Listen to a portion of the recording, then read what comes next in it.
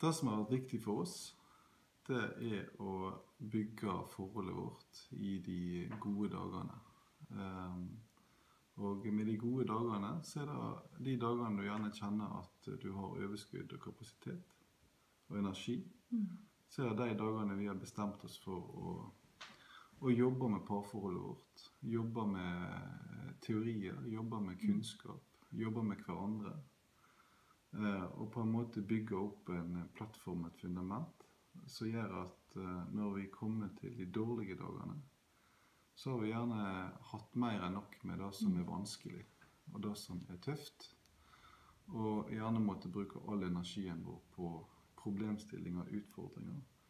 Og da må vi ha noe å flyte på.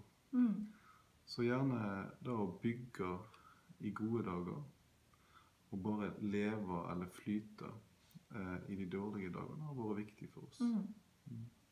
Jeg vil si at, at vi har gjort det, da, for, den forebyggingen, det har eh, gjort at vi sitter nå og tenker at vi har det på en måte bedre enn vi har hatt det noen gang. Lært mye om oss sjøl og om hverandre.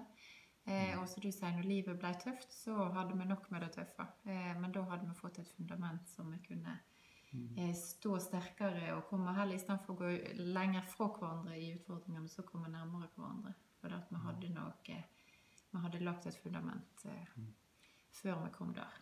Så jeg sier si forebygging har vært å jobbe før ting er vanskelig, så er det eh, veldig viktig. Ja. Og da en er bygd opp i, i gode tider, blir akkurat en liten sånn verktøyboks òg. At når en eh, ser problemene, så har en på lager kanskje et verktøy, eller en kan fortelle om noe godt som kan oppmuntre hverandre. Eh, og en kan minne hverandre på eh, hvor glad en er i hverandre. Når en gjerne kjenner at en er irritert på hverandre. Så da å, å, å bruke de positive tingene som en har lagra, eh, det er viktig for oss. Mm.